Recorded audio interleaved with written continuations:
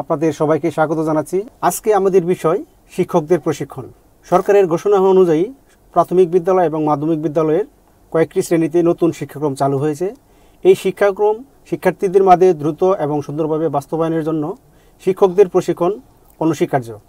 আজকে আমাদের নয়াদিগন্ত স্টুডিওতে উপস্থিত হয়েছেন কিন্ডার গার্ডেন অ্যাসোসিয়েশন বাংলাদেশের সম্মানিত জেনারেল সেক্রেটারি মোহাম্মদ মিজানুর রহমান। জনাব মিজানুর রহমান, আপনাকে স্বাগত জানাচ্ছি। আপনাকেও ধন্যবাদ আমাকে এই সময় উপযোগী আলোচনায় অংশগ্রহণের সুযোগ দেওয়ার জন্য। একটি বিষয় আমরা আজ নিয়ে আলোচনা করব। বিষয়টি হচ্ছে নতুন যে শিক্ষাক্রম চালু হচ্ছে এটি যদি শিক্ষার্থীদের কাছে সুন্দরভাবে এবং সহজভাবে আমরা তুলে ধরতে চাই তাহলে শিক্ষকদের প্রশিক্ষণটা অবশ্যই প্রয়োজন। কিন্তু আপনারা যেহেতু বাংলাদেশ শিক্ষাঙ্গনের বড় একটি সেক্টরকে প্রাধান্য দেন একটা প্রতিনিধিত্ব করেন যথা কিন্টার গার্ডেন এই গার্ডেন শিক্ষকদের কিন্তু প্রশিক্ষণের ব্যাপারে সরকারের এখনও কোনো উদ্যোগ নেই।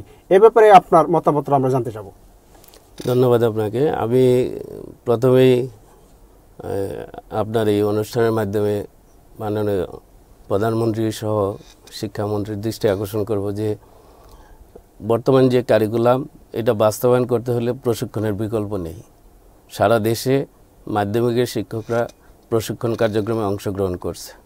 কিন্ডারগার্ডেনের প্রায় পাঁচ লাখ শিক্ষক এর বাইরে রয়েছে। যদি এই সরকারের নতুন কার্যক্রম যদি সফল করতে হয়, তাহলে আমাদেরকে প্রশিক্ষণের আওতায় আনা উচিত। কারণ শিক্ষাক্ষেত্রে আমরা যে অবদান রাখি, তাতে আজকে মাননীয় প্রধানমন্ত্রী প্রাথমিক শিক্ষায় যে সাফল্য, এটা আজকে সর্বজন স্বীকৃত। এই সাফল্যের একটা অংশ কিন্তু আমরা। এখানে তিরিশ ভাগ আমরা সহযোগিতা করে থাকি। শুধুমাত্র সরকারি কাছ থেকে শুধু বিনামূল্যের বইটাই আমরা পেয়ে থাকি। এছাড়া আর কোনো সহযোগিতা আমরা পাইনি। আমরা যেহেতু এই শিক্ষাক্ষেত্রে একটা অবদান রাখছি, সেহেতু আমাদেরকে যদি প্রশিক্ষণের আওতায় আনা হয়, তাহলে আমি মনে করি নতুন যেই শিক্ষা কার্যক্রম, এটা সফলতা লাভ করবে। আচ্ছা, আপনি মানে বলতে চাচ্ছেন যে নতুন যে কারিকুলাম এটা যদি শিক্ষার্থীদের কাছে সুন্দরভাবে তুলে ধরার জন্য প্রয়োজন মনে করেন তাহলে শিক্ষকদের প্রশিক্ষণের ব্যাপারটা আপনি জোর দিচ্ছেন। আচ্ছা আপনার কি এই কিন্ডারগার্টেন স্কুলগুলোতে মোট শিক্ষার্থীর সংখ্যা কত এই পর্যায়ে আপনারা জানাবেন? আমাদের হিসাব মতে প্রায় পঞ্চাশ লক্ষ শিক্ষার্থী এখানে অধ্যয়ন করে। আর শিক্ষক সংখ্যা কত আছে এখানে? শিক্ষক সংখ্যা প্রায় পাঁচ লাখ। তার মানে আপনি বলতে চাচ্ছেন এই যে পঞ্চাশ লক্ষ শিক্ষার্থী আছে তারা যদি নতুন কারিকুলাম অনুযায়ী পাঠদানে তারা যদি সহজভাবে পাঠদানটা পেতে চান তাহলে শিক্ষকদের প্রশিক্ষণটা অবশ্যই জরুরি। অবশ্যই। আর এখানে পাঠদানের শিক্ষকদের যে প্রশিক্ষণ এখানে তো বড় ধরনের অর্থের একটা ব্যাপার আছে। তো সরকার যদি সেই অর্থের সংস্থান করতে না পারে তাহলে কীভাবে আসলে প্রশিক্ষণ দেবে আপনি মনে করেন? আমরা আমাদেরকে যদি এই প্রশিক্ষণের আওতায় আনে যদি যেহেতু যদি সরকারের অর্থের মানে সংস্থান না থাকে তাহলে আমি অনুরোধ করব যে আমাদেরকে এই প্রশিক্ষণ ভাতা না দিয়ে হলেও আমাদেরকে প্রশিক্ষণে অংশগ্রহণ করার সুযোগ দেওয়া হোক। আমরা প্রতিষ্ঠান থেকে আমাদের শিক্ষকদেরকে আর্থিক সহযোগিতা দিয়ে হলেও আমরা এই প্রশিক্ষণে অংশ নিতে চাই। আমরা জাতি গঠনে নতুন এই কারিকুলাম যাতে আমরা সফলভাবে বাস্তবায়ন করতে পারি, আমরা সেই লক্ষ্যে অবশ্যই আমাদের প্রশিক্ষণটা জরুরি। আমি আপনাদের মাধ্যমে অনুরোধ করব যে যে কোনো মূল্যে হোক আমাদেরকে প্রশিক্ষণের আওতায় আনার জন্য জোর দাবি জানাচ্ছি। প্রশিক্ষণের ব্যাপারে সরকার যে বিষয়টা প্রথমে শিক্ষকদের যে সম্মানী ভাতার একটা ব্যবস্থা করবে সেখানে আমরা যতটুকু জেনেছি প্রায় দুইশো কোটি এটা সম্ভবত একশো নব্বই কোটি টাকা বরাদ্দ ছিল শুধু শিক্ষক প্রশিক্ষণের ব্যাপারে।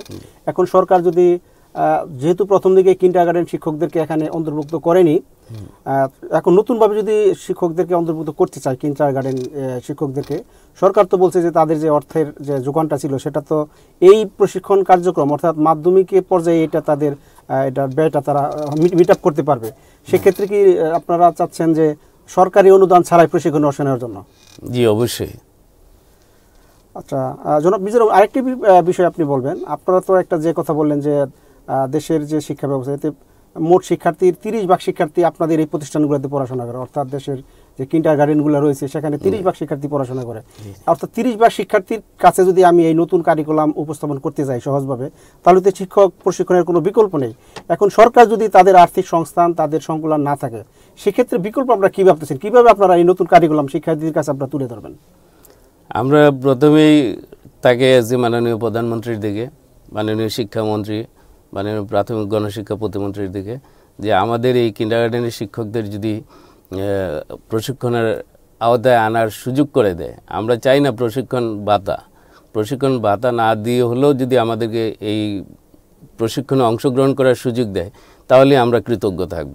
এবং আমরা অতীতে যেভাবে স্বাধীনতোত্তর বাংলাদেশে যেভাবে আমরা শিক্ষাক্ষেত্রে ভূমিকা রেখে চলেছি, আমরা চাচ্ছি ভবিষ্যতেও যেন এই নতুন কার্যক্রমে কারিকুলামে যাতে আমরা অভ্যস্ত হতে পারি সেই সুযোগটা আমাদেরকে দেওয়ার জন্য।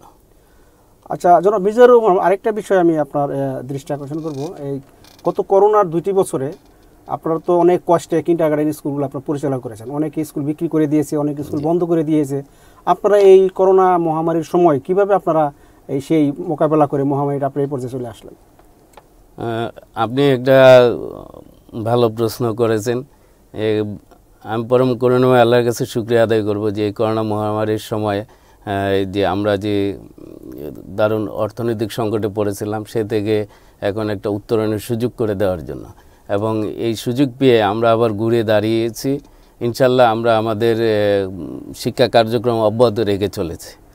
তা আল্লাপাক যেন আমাদেরকে ভবিষ্যতে আরও ভালোভাবে এই প্রতিষ্ঠানগুলো পরিচালনা করার সুযোগ দেয়। সেই দোয়া এবং সমর্থন কামনা করছে। একটা বিষয় হলো করোনা মহামারীতেও যে আপনারা যেভাবে এখানে কাটিয়ে সেই সংকট কাটিয়ে উঠে বর্তমানে প্রতিষ্ঠানগুলো পরিচালনা করতেছেন একটা একটা বিষয়। আর এখন যদি নতুন কারিকুলাম যেটা চালু হচ্ছে এটা নতুন শিক্ষাবর্ষ থেকে চালু হয়েছে অলরেডি শিক্ষার্থীরা ক্লাসে ফিরেছে কিন্তু শিক্ষক প্রশিক্ষণ কিন্তু এখনও সরকার শুরু করেছে এটা শেষ হয়নি চলমান রয়েছে। আমরা যদ্দূর জানি মাধ্যমিক পর্যায়ের শিক্ষক যারা রয়েছেন এরা এরাও কিন্তু এখনও সবাই প্রশিক্ষণের আওতায় আসতে পারেনি। অর্থাৎ সরকার যে পাঁচ দিনের একটা প্রশিক্ষণের ব্যবস্থা করেছে মাধ্যমিক পর্যায়ে শিক্ষকদের অলরেডি দুই দিন সেই প্রশিক্ষণে তারা নিয়েছে এবং আগামী সপ্তাহ থেকে টানা তিন দিন তারা সেই প্রশিক্ষণের বাকি অংশ শেষ করবেন। এখন শিক্ষার্থীরা কিন্তু ক্লাসে চলে গেছে, কিন্তু শিক্ষকরা প্রশিক্ষণ পায়নি। অর্থাৎ যে নতুনভাবে যে ক্লাসগুলো শুরু হয়েছে, প্রশিক্ষণ ছাড়াই সেই ক্লাসগুলো হচ্ছে, এগুলোর মান নিয়ে কতটুকু সন্তোষ প্রকাশ করছেন আপনি? দেখেন আরও তিন দিন প্রশিক্ষণের বাকি রয়েছে। এর মধ্যে কিন্তু প্রতিষ্ঠানগুলোতে এখনও নতুন কারিকুলামের বই সব প্রতিষ্ঠানে এখনও পৌঁছেনি। তো সেই হিসাবে এখনও কিন্তু পুরোপুরি ক্লাস শুরু হয়নি। তা আমরা আশাবাদী যে আগামী সপ্তাহের মধ্যে হয়তো সম্পূর্ণ বই পেয়ে যাবে এবং শিক্ষকরাও প্রশিক্ষণ পেয়ে যাবে। কিন্তু সরকারের যে এক লাখের মতো শিক্ষক মানে প্রশিক্ষণের বাকি আছে, তাদেরকেও ধারাবাহিকভাবে যদি প্রশিক্ষণের আওতায় আনে এবং সেই সাথে আমাদেরকেও যদি সুযোগ দেয়, তাহলে আমার মনে হয় সরকারের উদ্যোগ সফল হবে। আর এই পাঁচ দিনের প্রশিক্ষণে আমি মনে করি যে পুরো কারিকুলামটা সবাই অভ্যস্ত হতে পারবে না। আমি সরকারের কাছে অনুরোধ করব, এটা যেন ধারাবাহিকভাবে এই প্রশিক্ষণের ব্যবস্থাটা থাকে। তো নিয়মিত শিক্ষকদেরকে যেন এই প্রশিক্ষণের আওতায় নিয়ে আসা হয় এবং পাঁচ দিন না, এটা আরও ব্যাপক আকারে যাতে নিয়মিতভাবে শিক্ষকদেরকে প্রতিটা বিষয়ে যেন আলাদা আলাদাভাবে আরও প্রশিক্ষণ দিয়ে তারপরে দক্ষ করে তোলে। একটা বিষয় আপনি বললেন যে বই এখনও শতভাগ স্কুলগুলো পায়নি। সরকার তো চেষ্টা ছিল প্রথম থেকেই যদিও নানান সীমাবদ্ধতার কারণে এবছর কাগজের মূল্য বৃদ্ধি বিশেষ করে বই ছাপার যে কাগজটা এটা আমরা জানি চীন থেকে আসে। তো বাংলাদেশের ডলার সংকট এবং বৈশ্বিক পরিস্থিতির কারণে কাগজটা যথাসময়ে আসেনি। কাগজ তো নয় এটা আসলে চীন থেকে আসে মন্ডটা সেটা প্রক্রিয়া করে বই ছাপার কাগজ রূপান্তরিত করা হয়। তো এই যে বই ছাপার যে একটা বিষয় ছিল যে সেখানে দেরি হয়েছে এবং সে বছরের শুরুতে সব শিক্ষার্থীরা সব বই পায়নি, তাহলে কি এটা আমাদের সারা শিক্ষাবর্ষের উপরে এটা কি প্রভাব পড়বে না? তারা যদি বছরের শুরুতে সবগুলো বই না পায়, আপনি কি মনে করেন? না, আমার মনে হয় যদি আগামী সপ্তাহের মধ্যে বইটা পেয়ে যায়, তাহলে তেমন একটা সমস্যা হবে না। কারণ আপনারা জানেন যে জানুয়ারি মাসটা আসলে বিভিন্ন শিক্ষা প্রতিষ্ঠানে ভর্তি কার্যক্রমেই থাকে। বিভিন্ন অনুষ্ঠানগুলোও থাকে। এখানে বার্ষিক ক্রিয়া প্রতিযোগিতা, বার্ষিক মিলাদ সাংস্কৃতিক অনুষ্ঠান এই সব কাজ নিয়েই আমাদের আসলে জানুয়ারি মাসটা কেটে যায়। আহ, আমরাও আসলে ফেব্রুয়ারি মাস থেকেই পুরোপুরি পাঠদানে মনোযোগী হই। তো সেক্ষেত্রে দেখা যায় যে আমরা যদি জানুয়ারির বিশ তারিখের মধ্যে বইগুলো পেয়ে যাই তাহলে আমার মনে হয় না শিক্ষা কার্যক্রমে তেমন একটা ব্যাহত হবে। আপনি বলতে যাচ্ছেন যে জানুয়ারি মাসের মধ্যে যদি বইগুলো আসে তাহলে শিক্ষা কারি- কার্যক্রমটা সুন্দরভাবে পরিচালনা করা যাবে। আরেকটি বিষয় আমি আপনাকে জানতে চাবো এই যে নতুন যে কারিকুলাম এবং নতুন যে পাঠ্যপুস্তক শিক্ষার্থীর হাতে এসেছে এই বইয়ের মান নিয়ে কিন্তু প্রশ্ন অভিভাবকরা বলছেন এবং আপনাদের শিক্ষকদের মধ্যে অনেকের সাথে আলাপ হয়েছে তারাও বলছেন যে বইয়ের কাগজের মানটা আসলে আপনারা তো বই পড়াচ্ছেন ক্লাসে কাগজের মানটা কেমন দেখছেন আপনারা? আসলে মানটা আগে আমরা ভালো জিনিস পেয়ে অভ্যস্ত তো তাই এখন একটু মান খারাপ হয়েছে এটা ঠিক। যে বইগুলো আসলে অনেকে, অনেক গার্ডিয়ান এসে বলছে যে এই বইগুলো সারা বছর পড়াতে পারবে কিনা বা বাচ্চারা নিয়ে যেতে পারবে কিনা, এর মধ্যে হয়তো ছিঁড়ে যেতে পারে। কিন্তু তারপরে আমি বলব যে বর্তমান যে অবস্থায় আমরা অতিক্রম করেছি, আসলে একটা সন্দেহই ছিল যে এবছর আমরা এক তারিখে বই উৎসব করতে পারব কিনা। কিন্তু শত প্রতিকূলতার মাঝেও আমি মনে করি যে সরকারের এখানে বড় সার্থকতা যে আমাদেরকে কিছু বই দিয়ে হইলেও বই উৎসব করার সুযোগ দিয়েছে। আমরা প্রতিটা শিক্ষার্থীকে কম বেশি কিছু বই দিতে পেরেছি। এখানে মানের চেয়ে হলো শিক্ষার্থীদের হাতে বই পৌঁছানোটা হলো জরুরি ছিল।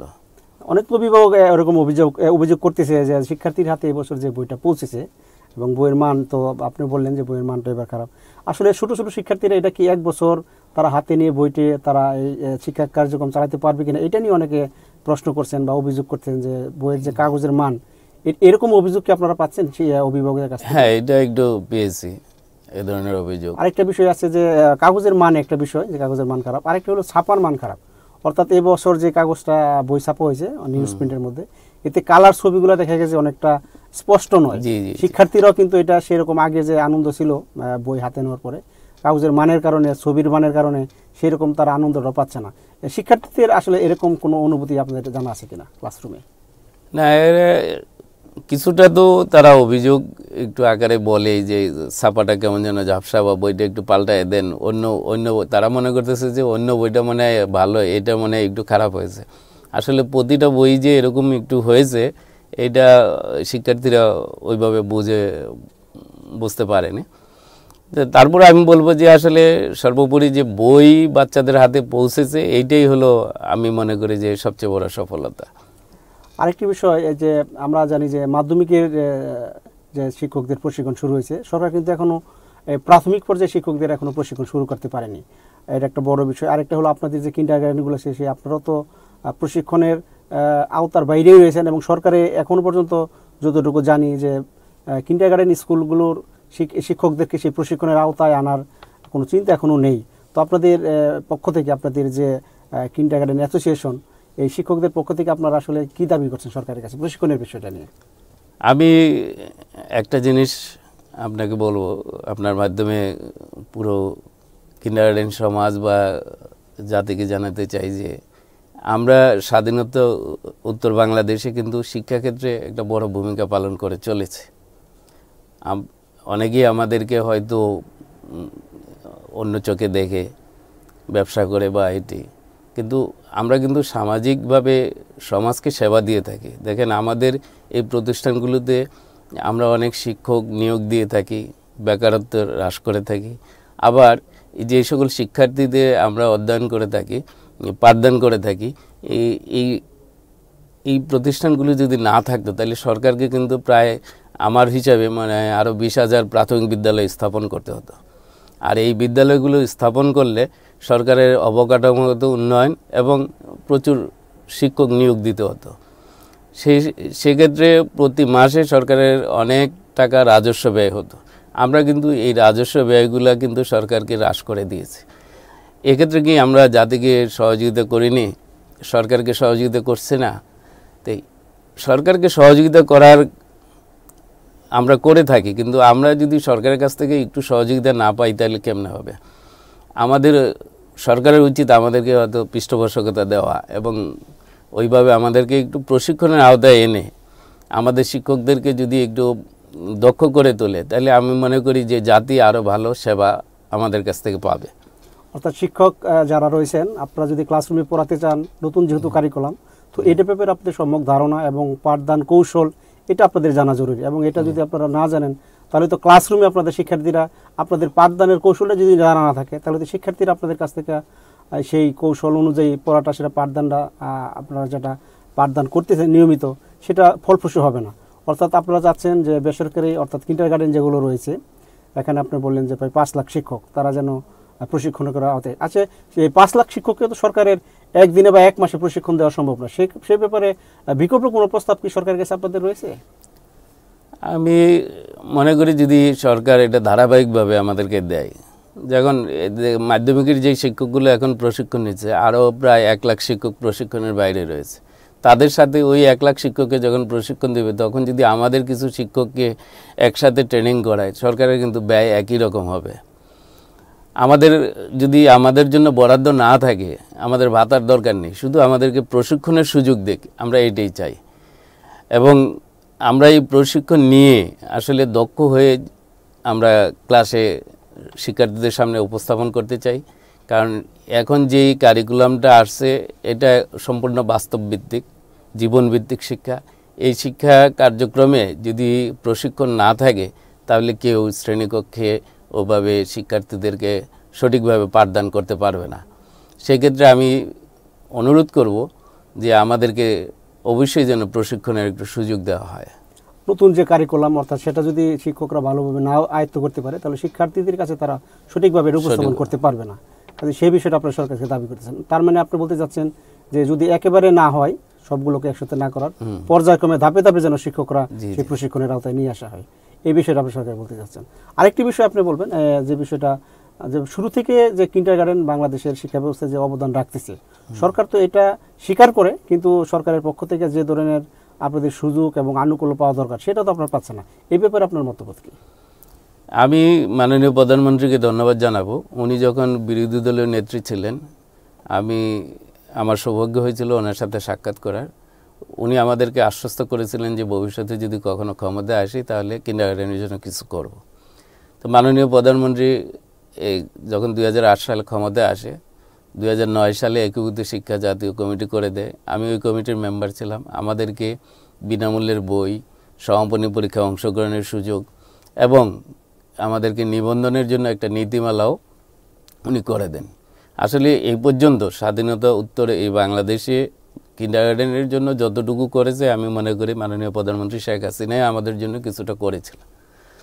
এখন মাননীয় প্রধানমন্ত্রী ক্ষমতায় আছে, আমরা চাই যে উনি আমাদেরকে প্রশিক্ষণের সুযোগটা দিয়ে যাতে আমরা দক্ষ হয়ে অন্তত শ্রেণীকক্ষে পাঠদান করতে পারি। এই সুযোগটা ওনার কাছ থেকে আমি চাচ্ছি। প্রিয় দর্শক শ্রোতা, আপনারা এতক্ষণ আমাদের সাথে ছিলেন। আসলে কিন্ডারগার্ডেন অ্যাসোসিয়েশনের যারা শিক্ষক রয়েছেন, এখানে প্রায় পাঁচ লক্ষ শিক্ষক। তারা আসলে চাচ্ছেন যে তারা যদি ক্লাসরুমে সঠিকভাবে পাঠদান করতে চান, তাহলে আমাদের যে নতুন কারিকুলাম অনুযায়ী এখন পাঠদান করতে হবে প্রাথমিকের একটি ক্লাস এবং মাধ্যমিকের দুইটি ক্লাসে সেই পাঠদান যদি তারা সঠিকভাবে ক্লাসে করতে চান, তাহলে যে নতুন কারিকুলাম সেই ব্যাপারে তাদের প্রশিক্ষণের কোনো বিকল্প নেই। বাংলাদেশ সরকার যদিও এটা মাধ্যমিক পর্যায়ের শিক্ষকদের সেই পাঠদানের দিকে নিয়ে যাচ্ছেন প্রশিক্ষণ তারা দিয়ে যাচ্ছেন, কিন্তু সব শিক্ষক এখন সেই প্রশিক্ষণের আওতায় আসেনি। আর কিন্টারগার্ডেন অ্যাসোসিয়েশনের যে পাঁচ লক্ষ শিক্ষক রয়েছেন। এখানে প্রায় পঞ্চাশ লক্ষ শিক্ষার্থী আছেন। অর্থাৎ পঞ্চাশ লক্ষ শিক্ষার্থীকে যদি সঠিকভাবে নতুন কারিকুলাম তাদের কাছে তুলে ধরা হয় এবং সেই চেষ্টা যদি শিক্ষকরা করেন, তাহলে তাদের অবশ্যই পায় সেই পাঠদানের উপযোগী প্রশিক্ষণের দরকার হবে। অর্থাৎ আজকে আমাদের আলোচনায় কিন্টারগার্ডেন অ্যাসোসিয়েশনের সম্মানিত জেনারেল সেক্রেটারি মিজানুর রহমান সাহেব সেটি বলার চেষ্টা করলেন যে তারা যদি পাঠদান সঠিকভাবে করতে চান শিক্ষার্থীদের সামনে, তাহলে তাদের সেই প্রশিক্ষণের কোনো বিকল্প নেই এবং তিনি এটিও দাবি করেছেন তারা একসাথে না হলেও যেন ধাপে ধাপে পর্যায়ক্রমে সব শিক্ষককে কিন্ডারগার্ডেন শিক্ষকগুলো যেন সেই প্রশিক্ষণের আওতায় আসেন, সেই দাবিটি জানিয়েছেন। তবে আজকে আপনারা যারা আমাদের সাথে ছিলেন, সবাইকে ধন্যবাদ। আগামীতে শিক্ষা বিষয়ে অন্য কোনো আলো- আলো- আলোচনায় আপনাদের সাথে দেখা হবে। সেই প্রতীক্ষায় আসসালামু আলাইকুম।